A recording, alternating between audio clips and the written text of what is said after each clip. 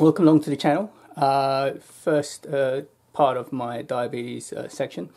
Um, just want to really reaffirm I'm not a doctor, I'm not a medical prof profession, uh, professional.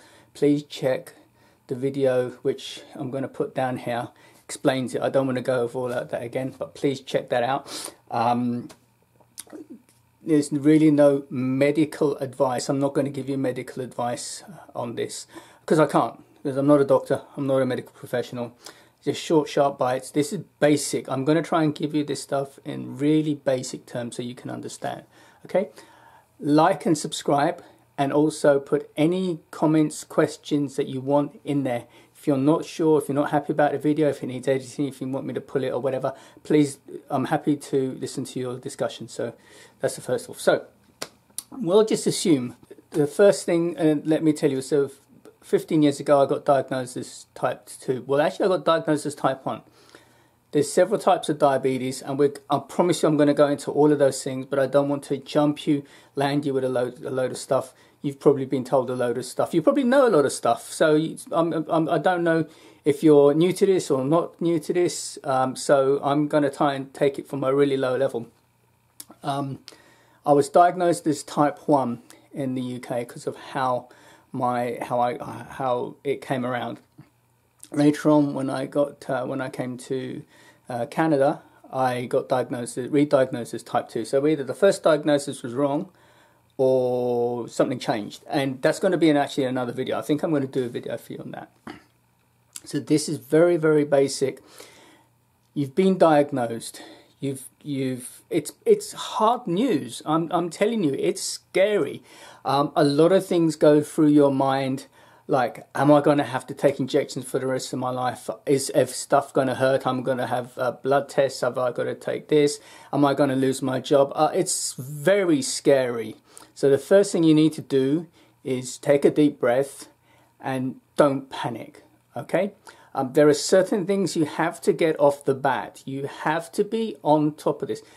Di uh, diabetes is a, a, chronic illness. Okay, you can die from diabetes, not from diabetes itself, but from the um, from the side effects, from the, the, the, things that happen. If you have a good doctor and a good uh, a diabetes team, what they will do is they will put you on medication to help prevent those things. It is not a death sentence. Diabetes has come on a long, long way since uh, it was first discovered and first treated. Okay, people now now know live longer lives, but uh, number one, okay, a good medical team can make the difference. I've, I can tell you horror stories of doctors who have put me on crappy medication and I've nearly died. Okay, the medications can mess with you if you don't have the right medications. It can mess with your mind all kinds of things. All, think of actually diabetes, it's almost bulimic like. You have a love hate relationship with food. You can really mess yourself up. So you need to get a good doctor. You can how can you tell a good doctor now? You've everyone in Canada, and this is I'm in Canada, but this applies to anywhere else in the world. If you're in Canada and you have a doctor, um, you can try out your doctor by asking him simple basic questions.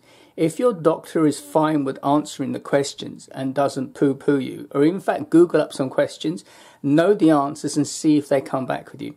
If he's really good, he or she is really good, then you're fine. If any, and this is a big red flag, if any doctor tries to treat you themselves, right, run, do not walk. In this country, you have the, the little cards which you swipe, they're just after your dollars. They're not going to help you. If you have diabetes, you need a diabetic team. You must have a diabetic specialist. Now, there is no problem with your, do your doctor going through initially what you need to have and getting your meds and arranging blood tests and that. That's fine, no problem. But anytime, if you say, listen, I really want to uh, talk to a nurse, I need to talk to a diabetic team, soon as that doctor says, um, sorry, my, my camera is jerking because I'm, sit, I'm sitting there on my bed. Um, you can tell this is a professional video, right? Um, as soon as a doctor tells you, um, you, you don't need it, we can't do it, this or that, anything which is a no, walk, don't run. Um, I had a doctor who did that. I changed my doctor, and the doctor I'm with, the first thing, the very first thing he did when I when I said, well, you know, okay, obviously I'm diabetic, he booked me in with a team. So this is what you need. Don't know if we can see this up here. You need a doctor. You need a good doctor. You need a doctor who will listen to you. You need a doctor who can uh, understand what you're talking about and give it to you in very basic terms, right? It's very, very important. The next thing you need is I've got written here a DM team. Or diabe- DM is short for diabetes mellitus, which is the, the Latin name for what we have. Now, your DM team, your diabetes team, consists of three people an endo, which is short for endocrinologist, um, and they deal with diabetes type um, uh, issues and also, I think, thyroid and stuff like that. Okay, uh, DSN, diabetic specialist nurse, and a dietitian. Four people you need. Now, your doctor you can see at any time for refills and checkups, and he'll want to he'll want to check your blood pressure, he'll want to check your heart rate, all kinds of things, right? Your endo is your specialist. They're hard to see, and you'll only likely see one once every year or once every six months. Your DSN is a diabetic nurse, a nurse who is almost sometimes we call it a nurse practitioner, who's a nurse who specializes in diabetes. Very good.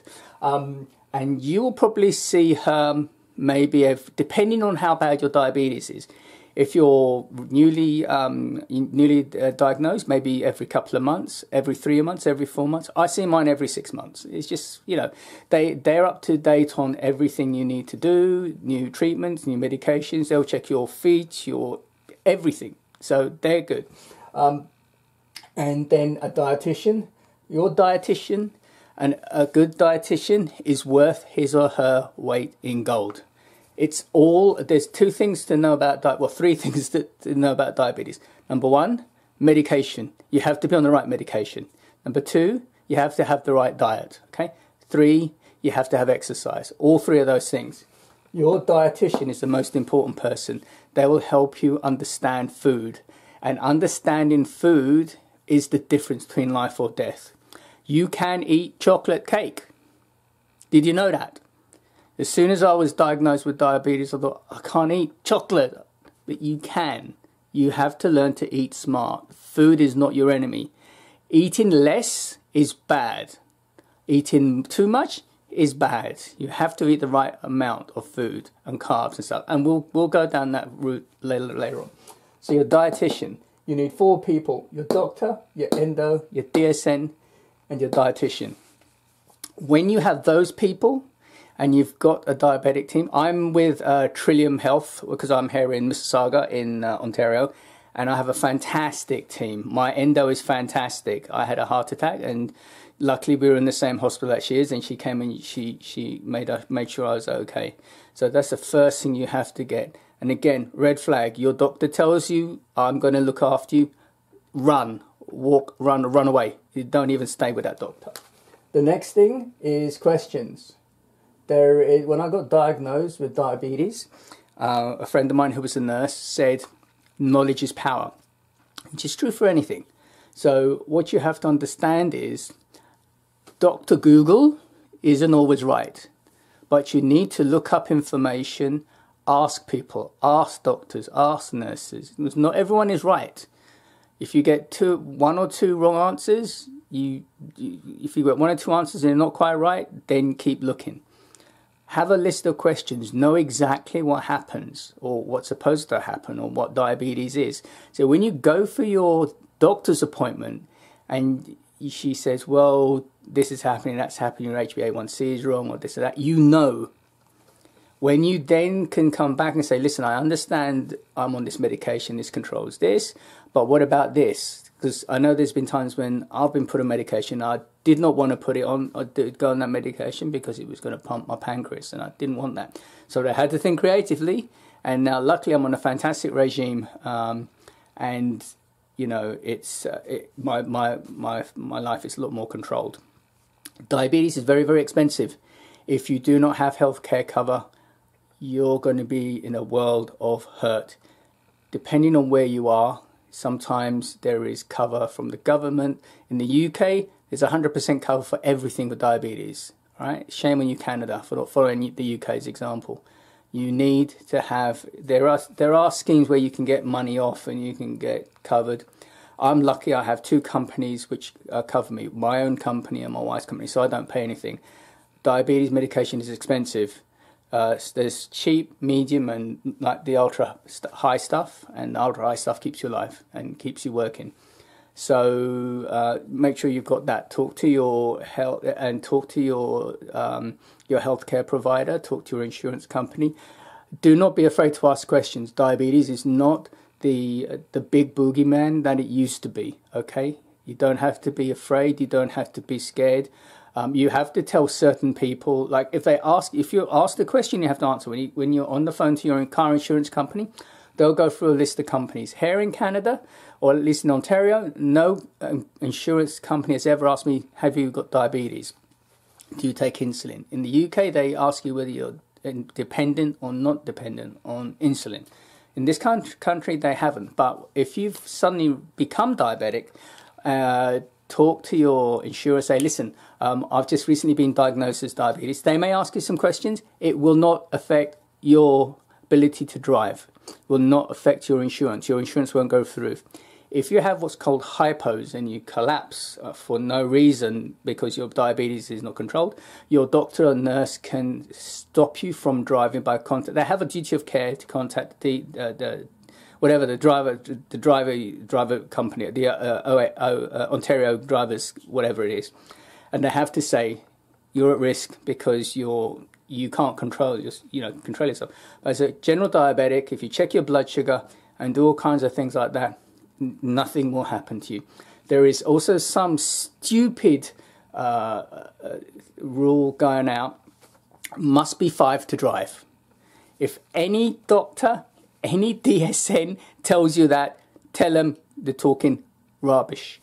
There is a, uh, not a rule, there is advice. And advice is different from a rule, and a, a rule is different from law. There is advice that says you shouldn't be lower than 5 millimoles to drive. There's a reason for that because if your blood sugar goes low, you can collapse. It's not a law. There is no law on the books in Ontario, and I'm talking about Ontario, double check anywhere else, but Ontario, and I'm pretty certain anywhere in the country because I'm on a ticket forum.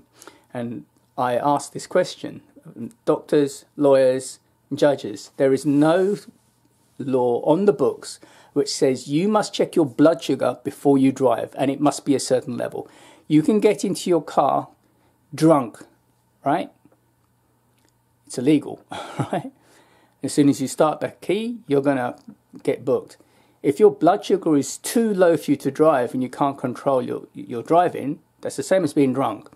But if your sugar is 7 or 10 or 9 or 15 or whatever, it isn't an issue until you get into an accident. If they ask you if you're a diabetic and they check your blood sugar and your blood sugar is low, they will not, uh, you cannot be fined for that. You cannot go to jail for that or nothing. But what will happen is the doctors will say, listen, you had an accident, you were under uh, a certain amount of um, uh, uh blood uh, blood glucose, so we're going to temporarily stop your uh, your license until we get you back on track.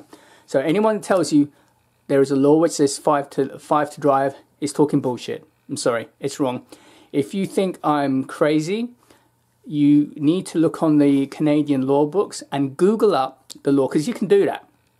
Google up blood sugar levels for driving and stuff like that. You will not find a single. You will not find a single uh, law. If there is a law, put it in the comments. State the law, the rule, but not the, not a highway code, not a code, a law on the statute books, an actual law. Okay, there isn't any. So I'm just telling you. That. So have all this information. Information is knowledge. So when you go to see your doctor, you you you're going. If you are a per type of person who just wants a tablet, pat on the head, doctors don't like that. They want to know that you're interested in your condition. It's your condition. They see hundreds of thousands of people every year. So you are not in, important enough to them If you are interested, they will show an interest. I'm not saying that, you know, if you know nothing, they're not going to help, but this is important. Diabetes, like cancer, like heart issues, like any kind of thing, it's your responsibility. There is a wealth of information out there. Get it. Okay, now, third one find yourself a support network. You can't do it on your own. I've tried. Diabetes is such a messed up um, uh, illness that you have to have someone in your corner pocket. You have to have someone who's going to keep an eye on you because your mood swings, mood swings, you're going to have mood swings. Um, you're going to have issues with eating food. You're going to have issues with high, high glucose and low glucose, all kinds of things. Have someone in your back pocket. Um, if you're married, if you've got a boyfriend or a girlfriend, let them know. Say, listen, if I get irritated, I'm not being pissy with you it's my diabetes. And also ask me if I'm okay. If it looks like I'm doing something out of the ordinary, check with me. Am I okay? Do I need to eat something? Do I need to drink something? Do I need to check my blood sugar? Very important. Diabetes is a real mind screw. Trust me, I've been there, done that. It will take you down to the lows, and uh, it will only you can pull yourself up. You need a support group. If you go to a good diabetes team, they will ask you, one of the questions they'll ask you is, How are you? How have you been feeling? And if you're not feeling good, they'll put you in touch with a local support group who you can just talk to people who've had diabetes. You have questions like, How do you deal with, like, I have to cook a meal of five and I can't feel of five, I can't do this. How do I do this? And this is how we do it. Okay, so you're not, uh, remember this, you are not on your own. Do not be on your own. Do not try to solve this on your own. Always have someone that you can talk to, pick up the phone. I was very lucky, very blessed in my first couple of years. I had a fantastic nurse and I could ask her stupid questions. I, I took a double dose and then I forgot my dose and I didn't know what to do. Okay? After, it's like riding the bike. After a few months, you'll know it's, it's not difficult. So get yourself a support group. Another thing which you need to know about is stress and hormones diabetes will mess around with you. And no, no, no doubt about that. Um, stress, if you're in a stressful job, your blood sugars will go up because the hormone, the hormonal changes will put your blood sugars up. There is a reason, you can Google it up.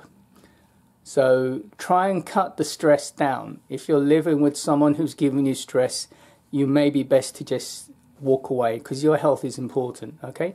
As a woman, we all know that, uh, uh, and you, you know that with women, if you're a woman, that you have your hormonal changes once a month. So for diabetics, we have that 24 7, 365. So if you add that onto what you're having monthly, that's even worse, honestly. So be prepared for if you have a partner who's diabetic, or if you're a part, or if you have diabetes, let your partner know. Say, listen, I'm going to get pissed with you. It's I'm not getting pissed at you because I'm an idiot or a thing. Just check on me. Or even if I'm fine, it could just be that diabetes is messing around with my head. Just ignore me. I'm, I'm honestly okay, and I, I I don't hate you. I just sometimes feel like I'm hating you. Okay. Do things to lower your stress. Jogging, running, uh, sex. Sex is fantastic. for lowering lowering your stress. Uh, chilling out in front of the TV, having a little bit of drink. Yes, you can drink alcohol. We'll talk about that another time. Have a little bit of a drink, a little bit of wine. That's fine. You know, do something to de-stress yourself. Okay, whatever it is. If you're in a high-powered job, if you're a job where you're getting yelled and shouted at, that's no good for diabetes. Diabetics. We've all, I've been there, so you know it happens. And lastly, um, you can catch me if you like this video, uh, I'm on a, a Facebook uh, group called Diabetes Canada. I'm, going to put this on the on the floor because it's a bit wobbly. Sorry about that. I'm on a Facebook page called Diabetes Canada, and uh, I usually wax lyrical. I usually talk a lot of crap. I usually waffle on, and some people don't like me, and some people do. It's just the way I am. So if you want to get in touch with a good group of people, I think there's plenty of diabetes support groups out there on Facebook. This is the one that I'm on. Um, it is a private group, so basically, uh, when you post things on it, it doesn't get copied to. Uh, it doesn't get copied to everyone. It's you can't do a Google search. So if you want to say something which is kind of um, which is kind of like uh, sensitive, it doesn't go anywhere. Um, and like anything, listen carefully, right? Do not get diagnosed.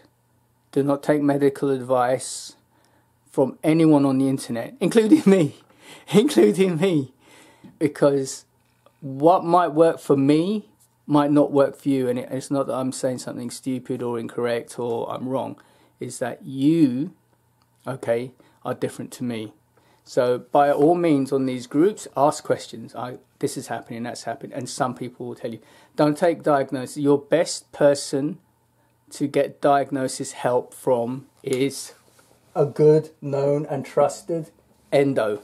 Number one, a good, trusted doctor and DSN, and a dietitian. All those three are good to bounce questions off. Okay, I I know not all DSNs give the same advice, not all the same endos give the same advice, but what do you do? I know by trial and trial and error by asking questions, and I have specific questions which I ask people if I don't know for the first time, and if they come back with bullshit, I walk away. Don't take bullshit from anyone. You, can't. Uh, and what else do I want to say on this? Yeah, diabetes is for life if you've been diagnosed with diabetes, anything but pre-diabetes, there's nothing we're going to. If you've been diagnosed with diabetes, believe me, you can't kind of be diabetic. You are. It's like saying I'm kind of, uh, I'm kind of pre- pregnant, but it's going to go in a couple of go away in a couple of weeks. No, you're full on hardcore diabetic. You're part of the group. Welcome. So I hope you enjoy this. Um, as I said, I'm, I'm going to try and keep it short and sharp. I'm probably not going to. I don't know how long this video is. And uh, again, please like and subscribe. Definitely put any comments in there if you think about the video, how I can improve it, and anything else you want me to have a chat with you about. Again, this is my own personal view from my own experience. I'm not giving you medical advice, but most of that is, I think all of that is true. feel free to Google up and uh, see. So, from yours truly, Big J and said, Peace out until I'm out of here like a thief and knife. God bless you. Stay safe and uh, have a great day. Bye for now.